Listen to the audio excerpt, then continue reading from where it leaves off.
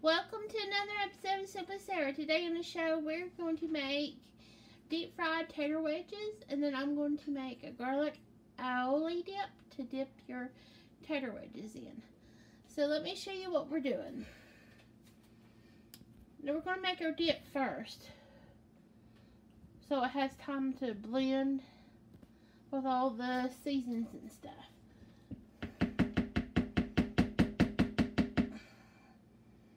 Alright. And my little Power Chef, we got the little whipping blade, uh, paddle thing, and then I've got a cup of mayo. Now you could use plain Greek yogurt if you don't want to use mayo. Two tablespoons of um, grated Parmesan cheese, uh, half a tablespoon of uh, Dijon mustard, um, salt and pepper to taste. I put a little smoky paprika, or you could use original. Um, garlic powder and onion powder, and don't worry about. I'll put the I'll put the recipe under underneath the video for the amounts. And then I roasted two heads of garlic. That's what we're going to put in here. And it's just soft. You can just squish your little clothes in here. This is really hot. It just came out. Let me see. I'm going to have to get me a little towel. Normally, I'll cool your little garlic a little bit. So I'm just going to squish them out. Your little clothes get soft and sweet and roasted. They come right out of the papery skins.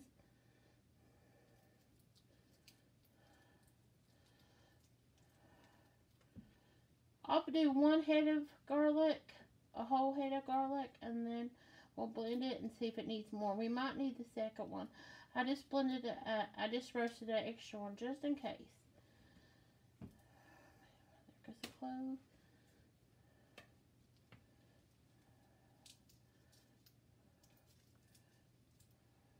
Couple cloves. It just depends on how much garlic flavor you want. You don't want the papery skins. So if one of the papery skins drop in, get it out. Because that's not good to eat. We got another clove right here. Let see.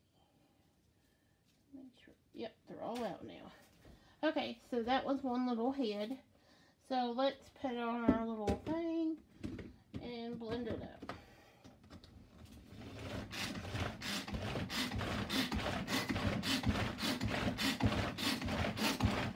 Now your garlic is so soft, it's just going to mash into all your mayo and spices.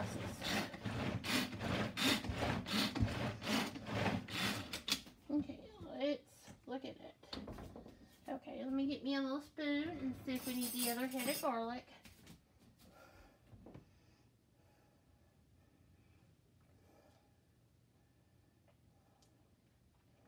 Yep. The other head of garlic we're going to put in. Because I want it real garlicky.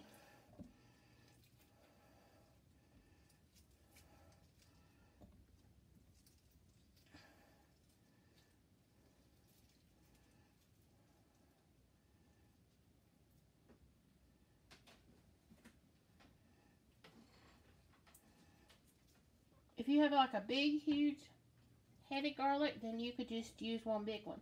These were kind of small.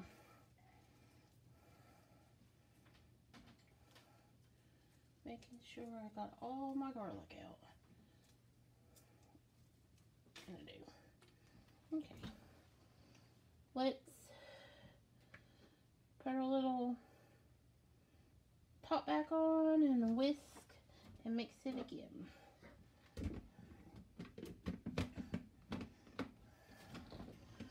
And when you roast garlic, it's not as powerful as raw garlic and stuff.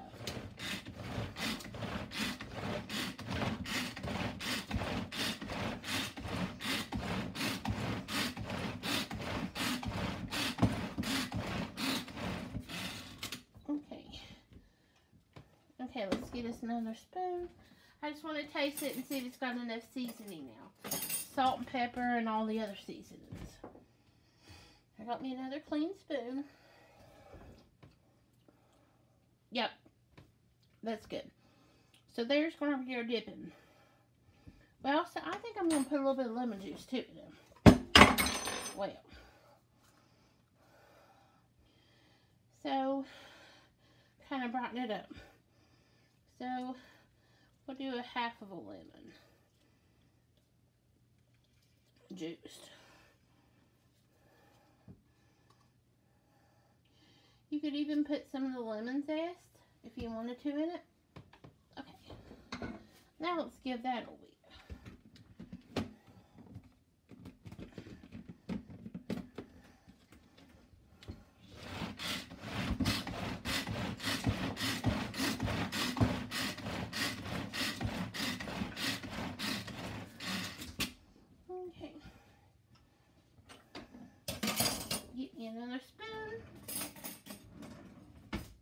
Taste it. If you need the other lemon half. I want it, don't want it too powerful of lemon. I just want a little tiny balance of it. Yep. Just that half one. I just want a little subtle of lemon flavor.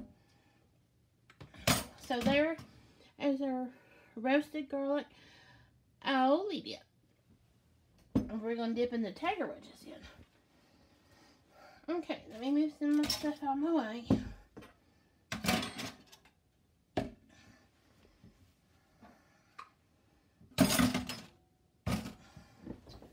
Okay.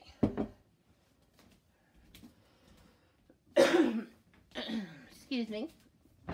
Okay, now let's mix our mixture that we're going to be dipping our tiger wedges in. So I will put up the list in the description of the recipe. We got um, cornstarch, all-purpose flour, oregano, salt and pepper, smoked paprika, garlic powder, and onion pepper, and that's it. so, we're just going to mix everything together.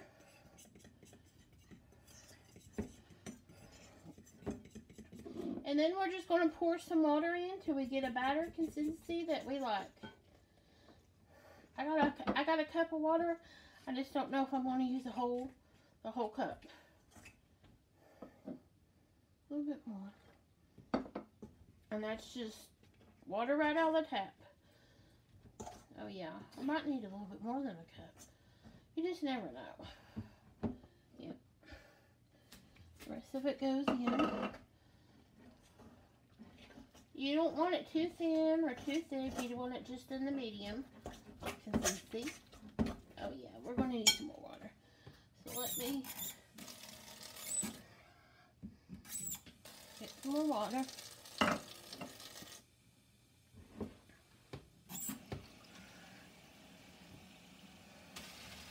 I got me another cup here.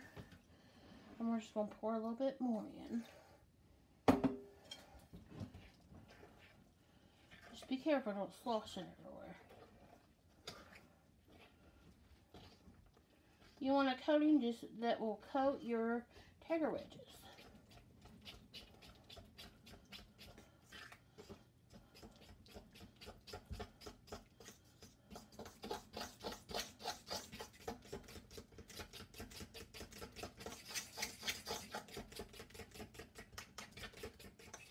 Now you can use any kind of seasoning you want. You want lemon pepper.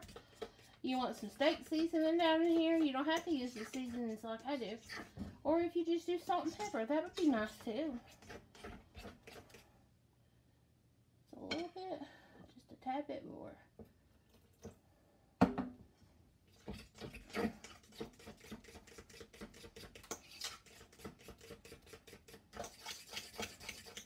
Sorry about the scraping and all the noise.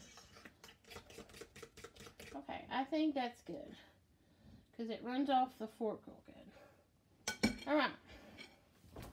So, let me bring you a little bit closer now. Okay. Make sure you're in frame. Okay, I got some taters that I just peeled. then I sliced them in half, then sliced a half and a half, so you made quarters. Um, I did several because we got some people to feed. So, you can leave the peeling on or off. After I do that, I just rinse them real good in a bowl, drain it, and then put them in a big kettle, poured over some cold tap water, some good pinch of salt, brought it up to a boil, let them boil for five minutes, um, brought them out, and then put them on a, a plate lined with some paper towels just to soak up the water to get it off of there. And I'm been letting them dry for about 30 minutes. And so that's what we've done so far to them.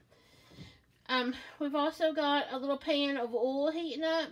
If you see my Hush Puppy video, you'll know what kind of pan and oil we use. You can use a high-powered, uh, high-powered, a high-temp oil that can handle the fry, like coconut, peanut, avocado, vegetable, canola, whatever. So, we're just going to take some of our tater wedges. And then we're going to drop, drop them in and coat them. Now, you'll have to do this in batches. You also don't want to crowd your your little pan that you have oil in. Let's just bury them and get them all good and coated. The cornstarch is going to even help with um, the crispness and stuff. So, we'll just let them sit in there until my oil heats up. Now, I use roasted potatoes, but you can use any taters that you want to.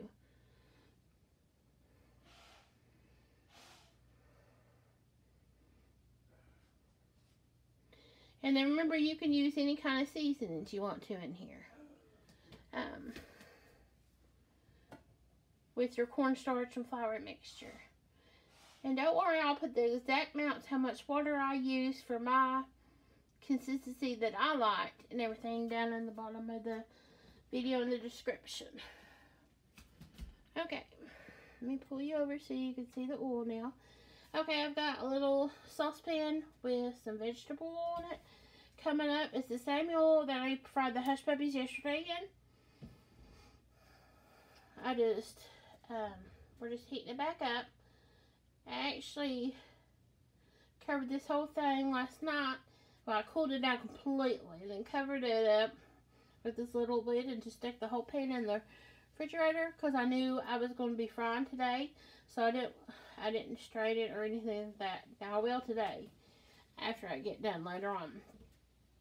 And what I do is I strain my oil real good through a mesh strainer uh, metal mesh strainer down into like a um, funnel and then it goes in a, a mason jar, a couple mason jars, whatever you need to fit uh, for all your oil to fit and then put it in the refrigerator and that keeps it from going rancid. Um, so you can use it several times for frying. You just bring it out, um, um, let it get to room temperature a little bit, put it in your, whatever you're frying in, your your fryer or your saucepan and then heat your oil up. The only thing is, um, like if you're going to fry fish, I would wait to do it the last time, the last time you want to fry because that flavors your oil and then your oil is going to taste like fish. So everything that you fry for that will taste like fish. So anytime I want to do fish, I do it, I put it on the menu at the last time that I want to fry and use my oil up. And then I discard it. Um, I put it down in, um, after it's cooled, I put it down into a, uh, coffee, uh, coffee container or a butter dish or something with a lid. Take the lid down and then it goes right in the trash can. You can see it bubbling.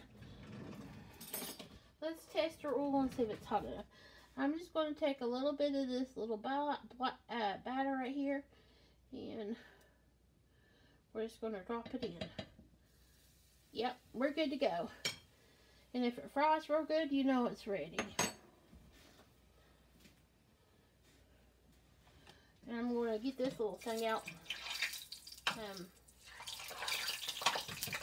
I had water on my little spider thingy, so don't freak out. Okay. Water and oil don't mix, so make sure you, uh, um, because that's what I scooped my tater wedges out of my water. Just make sure you pat it off and dry it real good. Okay. So, let's grab our tater wedges and just drop in slowly. You want your oil 350 degrees. Now there's thermometers that you can click on this to keep your oil at a good temperature. Or you can adjust it and just know like I do. I mean, these already been cooked, so it ain't going to take very long for them to just fry it. Because your tater's done, we're just getting the outside getting golden and crispy. And one more tater wedge. Like I said, you have to do these in batches. Okay, let me wash my hand off. Get me a plate.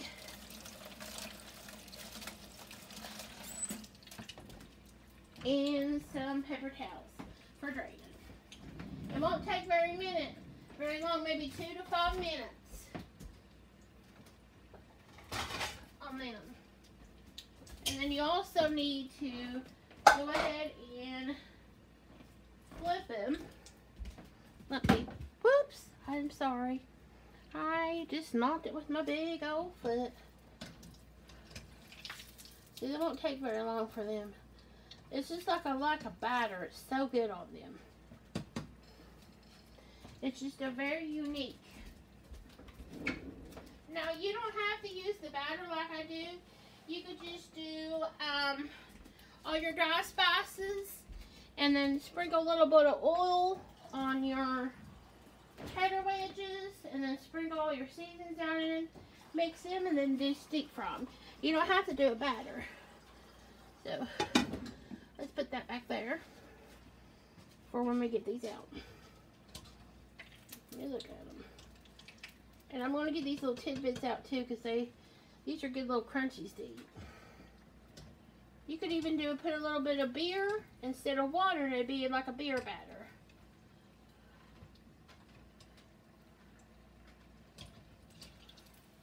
Look at them. Don't they look good? This is a good coating to coat fish and all kinds of yummy stuff with. Mushrooms, um, other veggies that you can deep fry, zucchini and squash. Okay, they're just going to go over on the plate and drain. Because we're just wanting them, the batter to get done. Remember that the potatoes already done. So, let's dunk some more of these little babies in here. And if a tater breaks on you, don't freak out. You can still fry both halves.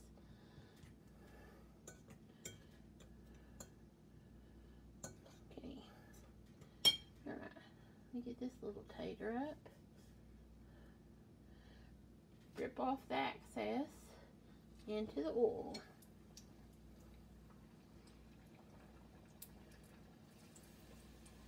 A lot of deep fryers, like I had a fry daddy that would turn your knob and it kept the temperature, whatever you put it on kept the oil, but it died. I've had it for a few years, so I need to get me another deep fryer. But you can do the old school way, like we did with the hush puppies, and we're doing with the tater wedges in a pan with some oil.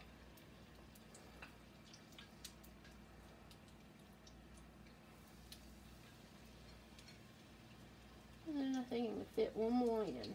Remember, you just don't want to crowd it because then you'll bring your oil temperature down. Okay, I'm going to wash my hand, rinse it off real quick I got all that batter and stuff. And we're just going to keep doing this till we get them all good and stuff. And you could actually even freeze these after you fry them, let them cool.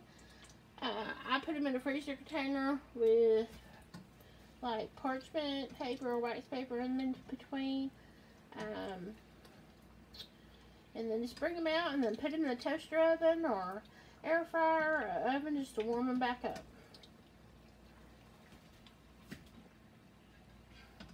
And sometimes you get one that'll stick together to another, so just break it apart. Let me get these little crunchies out. Because if you leave your little crunchies in, they'll start getting brown, very dark brown, and then ruin your oil. And what we're going to have today is just Morningstar today. Uh, for lunch and for dinner, we're going to have a Morningstar griller patties, kind of like burger patties. And then I'm just going to cook them up in a skillet with a little bit of olive oil. Um, I'll let them choose their toppings. I'm going to have lettuce, tomato, and onion. And then also I'm going to have leftover slaw from yesterday where we had, I made that to go with our hush puppies and our um, Gardein fish sticks and stuff. So they can put some slaw on a burger, whatever they want to do. Um, and then I got some regular burger patties I'm going to put over in another skillet. The ones that eat meat. And they can do cheese, whatever. Pickles, all kinds of good toppings.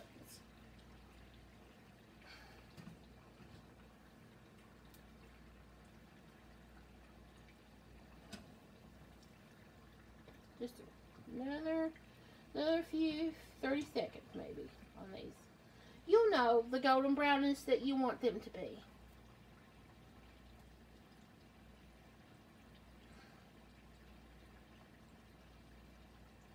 And like I said, you could just do it with the seasoned oil. Or you don't have to make like a paste batter. You could just put your flour down in there. Um, with all your seasonings. And then you would have to have something wet to dip your tater wedges in. So I would do, put a little bit of oil or dip them in like an egg so they adhere to them. Or you could dip them in water maybe again and then dip them in the dry. There's just so many versatile ways for you to do tater wedges. I'm kind of doing these like old school way that um, I remember that sometimes in special occasions the uh, lunch ladies would make for us like when the school would start ending. So let me duck some more of these in here. They would make like a batter like this. Sometimes it was regular way, you know, just with some seasoning and stuff. And usually they baked them. But once in a great while, they would do the deep fried ones. And they were so, so good. They never did give us like a dipping sauce. We just used ketchup. So. Old school memories. That was when I was in high school though. So. Way back in the day.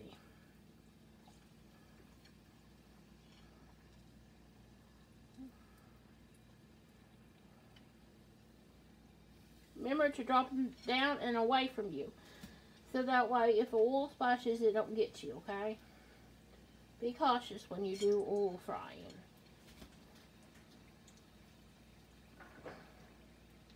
And then you could reuse this batter if you have more batter for stuff or something else. Like I said, deep fried veggies or whatever you want to do. It'll last in the fridge for about a week.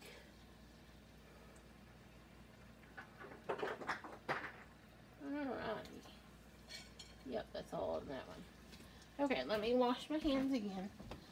You just got to keep repeating the process.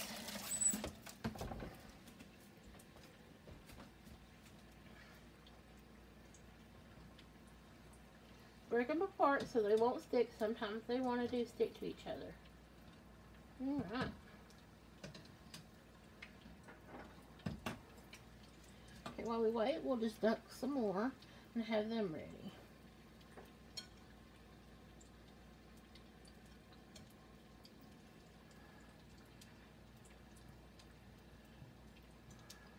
Have you ever had deep fried green beans? They're really good. I had them one time in a restaurant.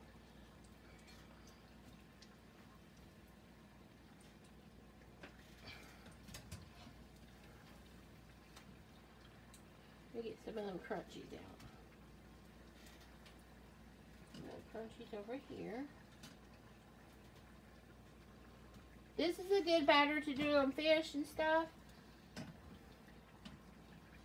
It really holds it. reminds me of the batter on um, Long John Silver. But it's not like a beer batter or a real thick, thick batter like they do. It's similar to it. Now, I have a video, old school video of how to do Long John Silver's fish a few years ago. So, you might want to check out that video too.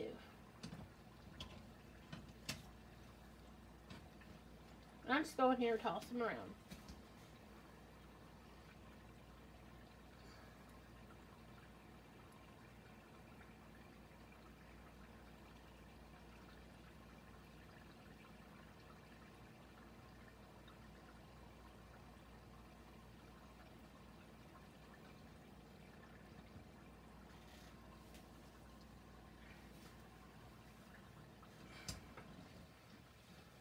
Almost. Just a little bit more browner. Sorry about that. I had to go off to the side and cough. I'm still getting over a sinus infection. I still got to take my antibiotics and um, steroids. You know, it's that time of year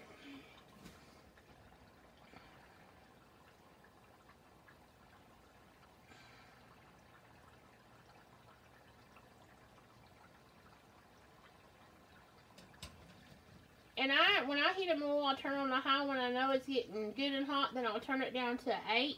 And that's usually what about I leave it on.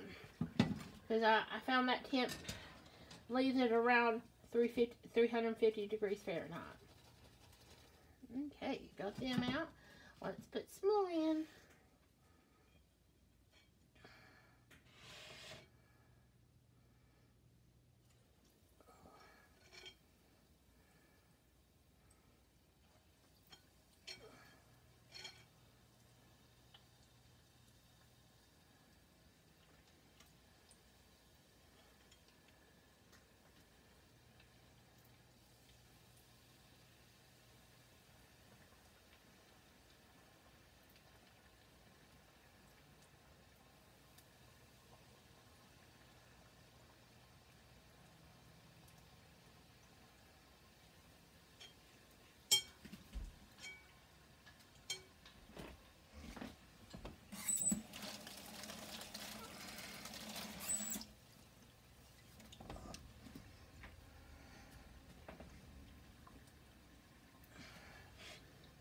some more of these in there.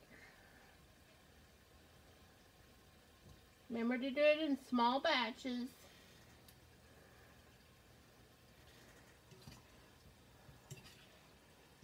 Maybe I can sneak them other three in. Okay. Now we're done with that plate. Let me move it out.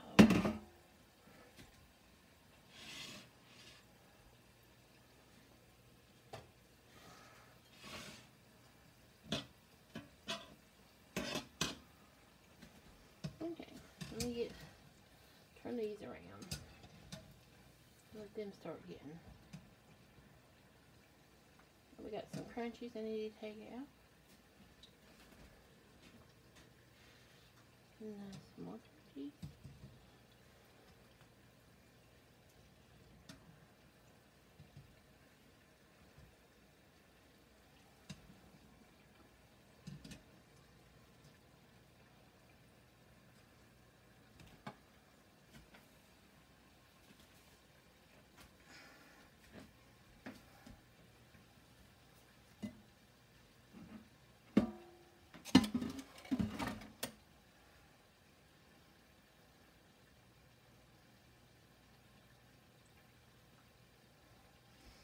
They were finishing, I'm going to get me a little bowl to put my aioli dip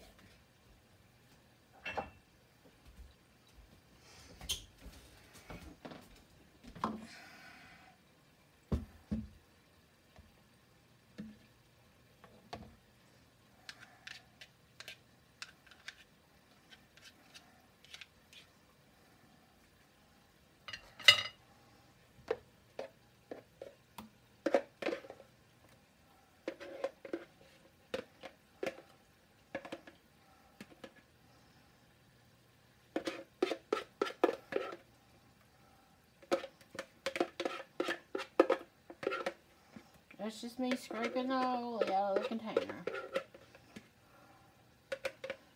I try not to do too much noise in the background.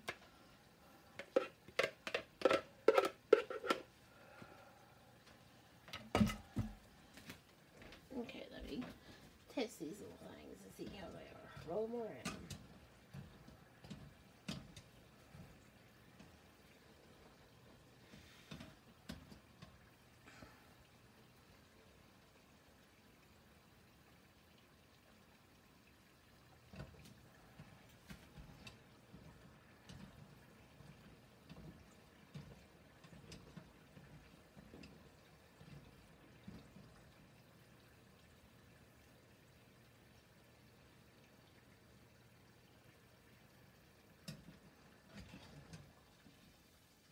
Okay, we are done. So over there.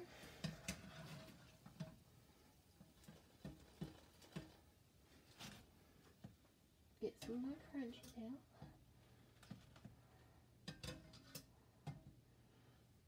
Okay, now do some more.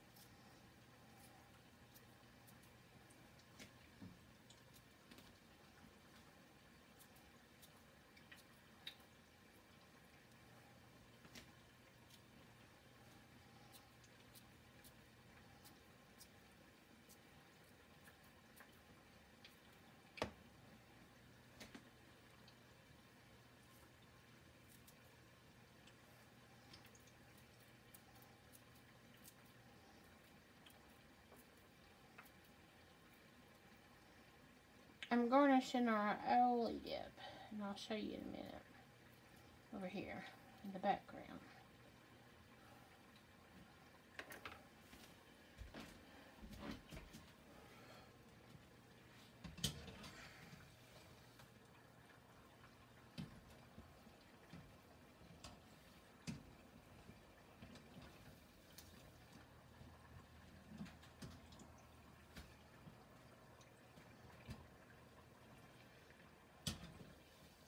I have that one is just stuck together. Break it apart. Okay. Almost done and I got three or four more to fry.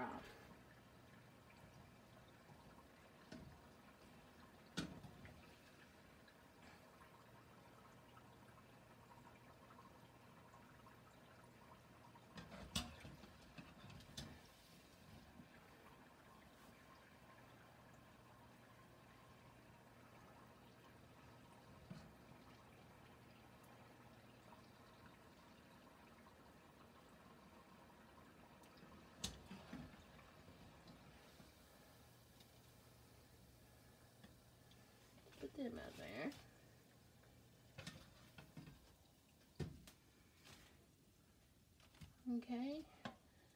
Now let's dump our last four. And then we'll be done.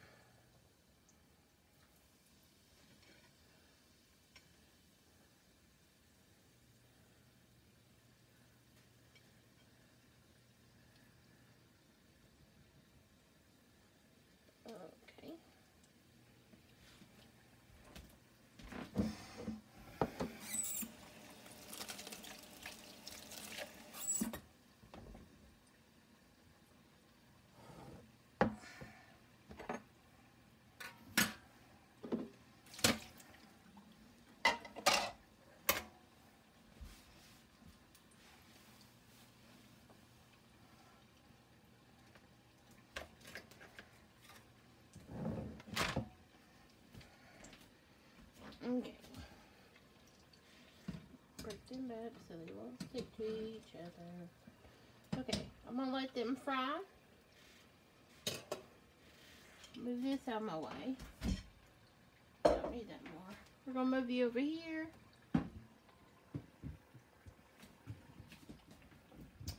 Make sure you can see.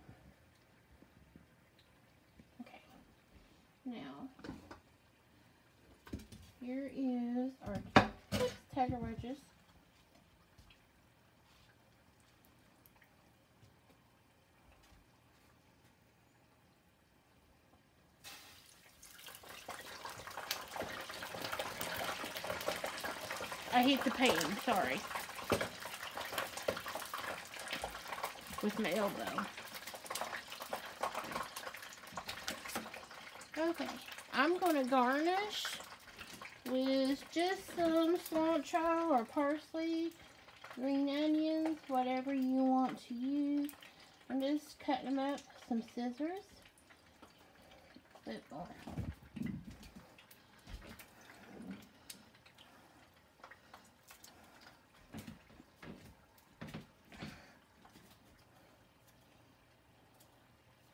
However you want to garnish them, you don't have to even garnish them.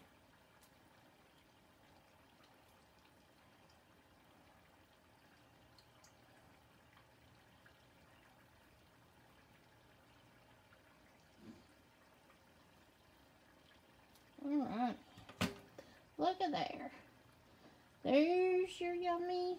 Let's see, you can't get bring you up so you can see.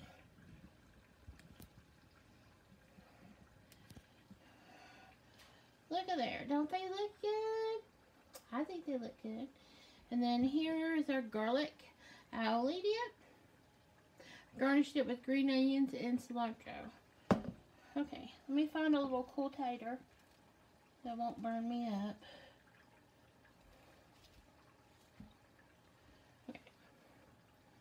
Now, let's dip into our garlic aioli. Good try.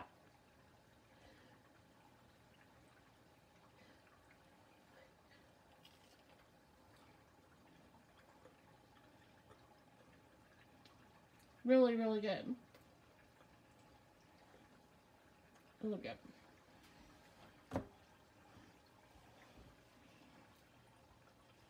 Alright, that's all in this episode.